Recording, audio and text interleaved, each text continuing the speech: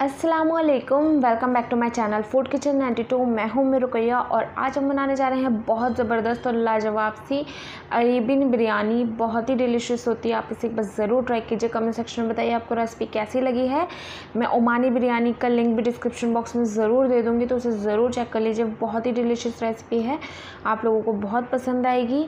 तो ज़्यादा देर ना करते वीडियो को स्टार्ट करते हैं। यहाँ पर मैंने रान ली थी, बकरे की रान और उसके दो पीसीस कर दिए हैं और उसके अंदर मैंने छुरी से जो है वो कट्स लगा दिए हैं गोश्त में, जिससे जब मैं मसाले को मैरिनेट करने के लिए गोश्त में लगाऊँ तो अच्छी तरीके से गोश्त में समा जाए, अंदर तक उसका फ्लेवर रहे मसालों का। ये देखिए, बहुत सारे कट्स लगा दिए हैं। चार टेबल स्पून जितना मैंने लिया है कच्चे पपीते का पेस्ट और 400 ग्राम मैंने दही ली है। दही का पानी निचोड़ दिया था और ये बिल्कुल अच्छे से पानी इसका निकल चुका है दही का।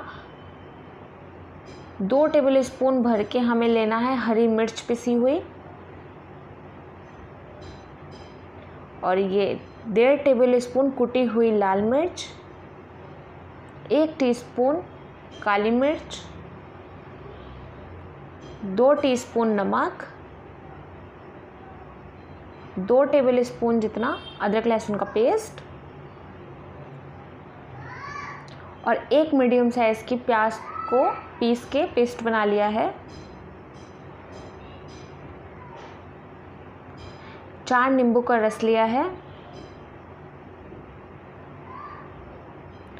और यहाँ पर हमने लिया है टाटरी, आधा चम्मच हमने टाटरी लिया है। टाटरी आपको किसी भी किराने की दुकान पे मिल जाएगी। इससे गोश्त जो है बहुत ज़्यादा टेंडर हो जाता है। जब हम टाटरी लगा के मैरिनेट करते हैं, बहुत ज़्यादा सॉफ्ट हो जाता है।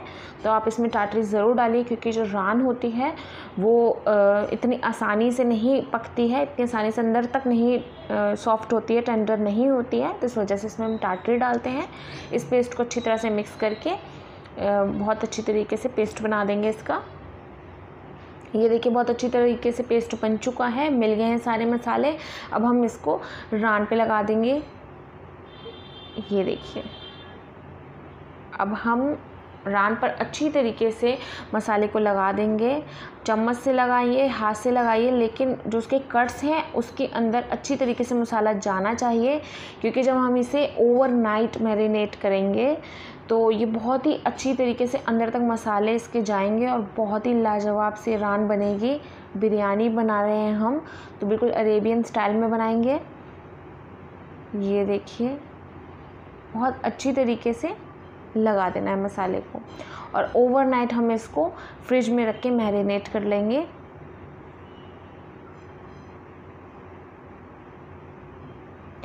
ये देखिए, पूरी रात मैरिनेट हो चुका है ये रान जो है। अब हम इसको क्या करेंगे? स्टीम रोस्ट हमें करना है। तो सबसे पहले हम इसको स्टीम करेंगे।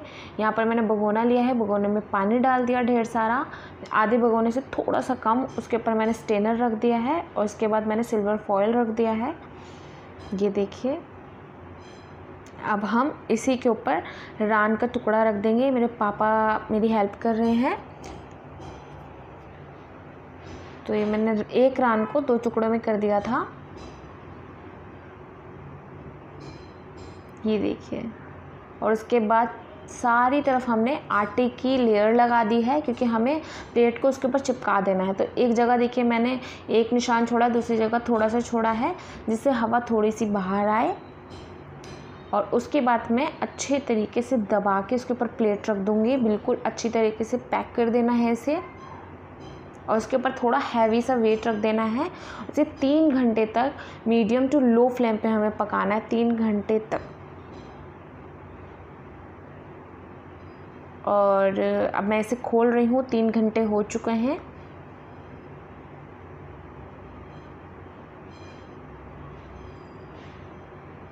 ये देखिए, बहुत एहतियात के साथ खोलना है। और अभी ये सिर्फ़ स्टीम हुआ है, हम इसको रोस्ट भी करेंगे। और अरेबियन लोग स्टीम रोस्ट करके इस बिरयानी को बनाते हैं। ये देखिए, गोश्त बहुत अच्छी तरह से गल चुका है।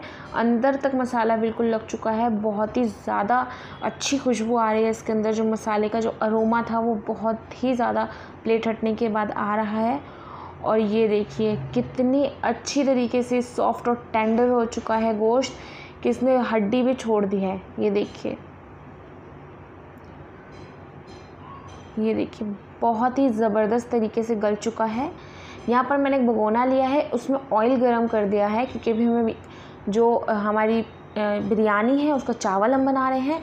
तो मैंने तीन सिनेमन स्टिक डाली, पाँच लौंग, पाँच इलायची, तीन बड़ी इलायची, तीन तेज़ पत्ता एक टीस्पून सौंफ, एक टीस्पून ज़ीरा, एक टीस्पून हल्दी।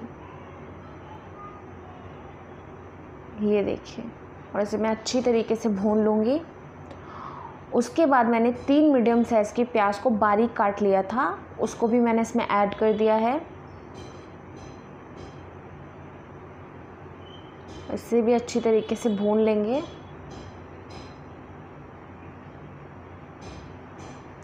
प्याज को भी अच्छी तरीके से भूनने के बाद मैं इसके अंदर शिमला मिर्च डाल दूँगी। तो मैं इसमें तीन रंग की शिमला मिर्च डालूँगी हरी पीली लाल। मैंने आधी आधी शिमला मिर्च ली थी एक शिमला मिर्च पूरी नहीं आधी आधी तीनों शिमला मिर्च ली थी तीनों रंग की। और फिर हल्का सा चलाने के बाद मैं इसमें ए, एक मीडियम साइज़ का गाजर था ऑरेंज कलर वाला गाजर वो भी मैं इसमें डाल दूँगी। मैंने इसे कद्दूकस कर लिया था गाजर को। ये देखिए। कद्दूकस किया हुआ गाजर भी डाल दिया है इसमें और मैं इसको मिक्स कर लूँगी। उसके बाद मैं इसमें कटा हुआ टमाटर डाल दूँगी। ये तीन मीडियम साइज़ का टमाटर था, बारीक कटा हुआ।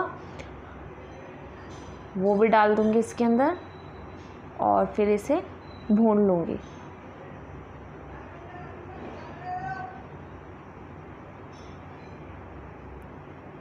ये देखिए। टमाटर सारे मसाले भून चुके थे, टमाटर और शिमला मिर्च वगैरह सब कुछ भून चुका था। तो जो मैरिनेशन से बचा हुआ जो मसाला था, जो हमने रान मैरिनेट की थी, उसमें जो बचा हुआ मसाला था, वो भी हम वेस्ट नहीं करेंगे, इसी के अंदर डाल देंगे। देखिए, सारा मसाला मैंने इसके अंदर डाल दिया और मैं इसे भी भून लूँगी पाँच मिनट के लिए।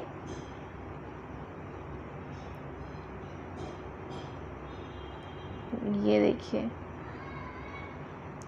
और अब हम क्या करेंगे? मैंने डेढ़ किलो बासमती चावल दो घंटे के लिए पानी में भिगा दिया था। वो मैं इसमें ऐड कर दूँगी। बासमती चावल लिया था और डेढ़ घंटे पानी में भिगा दिया था। उसके बाद मैं इसमें मटन स्टॉक भी डालूँगी।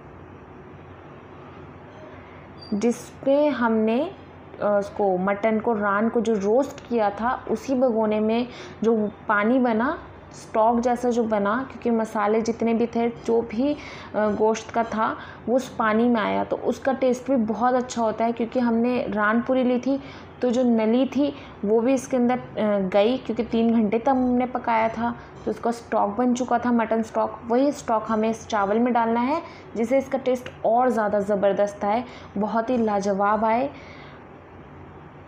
ये देखिए, क्योंकि हमें कोई भी चीज़ वेस्ट नहीं करनी है। और ये बहुत ही बेहतरीन सा मटन स्टॉक बन गया था। अब हम चावल को नॉर्मल सा पका लेंगे, सॉफ्ट गलने तक। यहाँ पर मैंने एक तवा लिया है, फ्लैट तवा। उसके ऊपर ऑयल डाल दिया है, चारों तरफ़ ऑयल लगा दिया है और अब मैं इसको सिर्फ़ दस मिनट के लिए रान के पीसीस को रोस्ट कर लूँगी। ये देखिए, क्योंकि अच्छी तरह से ये पक चुका है और उसके बाद बस ऊपर से हमें रोस्ट करना है। अंदर से तो बिल्कुल टेंडर है, बहुत ही लाजवाब। गोश्त भी बिल्कुल हटने लगा है हड्डी से। बस हमें इसे रोस्ट करना है। और, दूसरी तरफ़ मैं चावल को बिल्कुल नॉर्मल तरीके से पका रही हूँ। दम पे रख के मैं चावल पका रही हूँ। पानी डालने के बाद बस मैंने उसको पकने रख दिया है। उसके बाद मैं उसे दम पे रख दूँगी। तो बिल्कुल आम तरीके से पानी डालने के बाद आपको चावल बिल्कुल सॉफ्ट अच्छी तरीके से पका लेना है। क्योंकि इस रान को रखने के बाद हम फिर उसे दम नहीं देंगे, हम पूरा उसे पका देंगे चावल को।